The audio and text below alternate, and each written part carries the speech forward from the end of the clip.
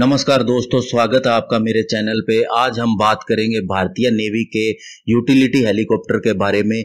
अभी आपने सुना होगा थोड़े दिन पहले कि भारतीय नेवी के लिए भारत सरकार 24 M H seventy anti submarine helicopter खरीदने जा रही है अमेरिका से।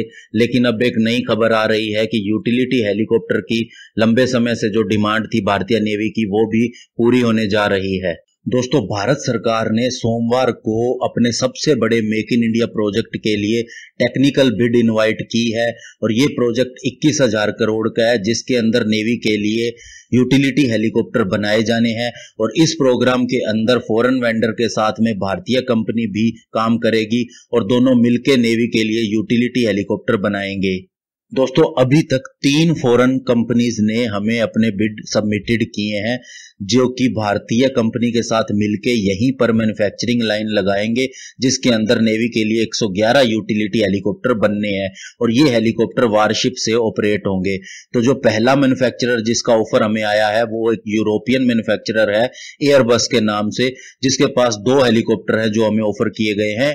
पहला है एच एक और दूसरा है पैंथर ए एस पाँच दूसरा मैन्युफैक्चरर जो है, वो है अमेरिका से जिसका नाम है सिकोर्स की और इसका S seventy six D helicopter है। ये वही कंपनी है जिससे हम M H seventy R submarine killer helicopter खरीद रहे हैं। और तीसरा ऑफ़र जो है वो रशिया से है, कामोव के ए दो सौ छब्बीस टी के लिए, और ये भी एक बड़ा प्रोजेक्ट है। दोस्तों, इसके अलावा दो और कंपनीज़ हैं। एक यूएस की बेल कंपनी और एक कोरिया की कोरियन एविएशन कंपनी जिन्होंने कोई भी बिड का जवाब नहीं दिया है। हालाँकि शुरू में इन्होंने थोड़ा रिस्पॉन्ड किया था, लेकिन उसके बाद में इनका कोई इंटरेस्ट नहीं दिखा। जिसका सबसे बड़ा कारण ये हो सकता है कि बेल कंपनी जो है, वो सिविलियन वेरियंट के हेलीकॉप्टर बनाती है और सिविलियन हेलीकॉप्टर को नेवी के इस्तेमाल के लिए उसको मॉडिफाई करना थोड़ा डिफ़िकल्ट होगा। और जो कोरियन एविएशन कंपनी है, वो वो अभी इतनी ज़्यादा डेवलप नहीं हुई है कि पूरी तरह से नेवी के लिए हेलीकॉप्टर बना सके। ये दो कारण हो सकते हैं कि इन्होंने दोबारा कोई जवाब नहीं दिया।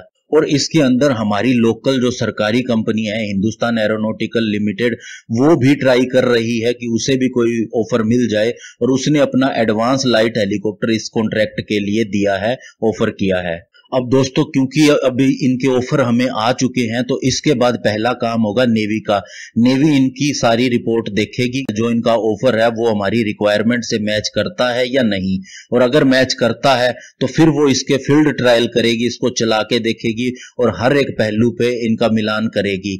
और इस काम के अंदर कम से कम दो महीने लग सकते हैं। और इसी के साथ साथ नेवी जो एक काम और करेगी, जो लोकल वेंडर्स जो हमारी लोकल कंपनी है पार्टनरशिप में शामिल होगी, उनकी भी इवेल्युएशन करेगी, उनका भी स्टेटस चेक करेगी कि वो, उनका स्टेटस क्या है क्या वो इस सक्षम है हेलीकॉप्टर को बनाने में या नहीं? और जो लोकल कंपनीज़ है, उनकी फैसिलिटीज़ को भी चेक किया जाएगा। और इस लोकल कंपनीज़ जो आती हैं, उनमें मुख्यतः जो कंपनी है, वो है Tata Aerospace and Defence Mahindra Defence Reliance Defence Adani Defence Hindustan Aeronautical Limited Bharat Forge और लक्ष्मी मशीन वर्क और इनकी जो चेकिंग है, वो काम इस महीने के अंत तक शुरू हो जाएगा। दोस्तों, इस साल के अंत तक, यानी कि लास्ट क्वार्टर जो 2019 का होगा।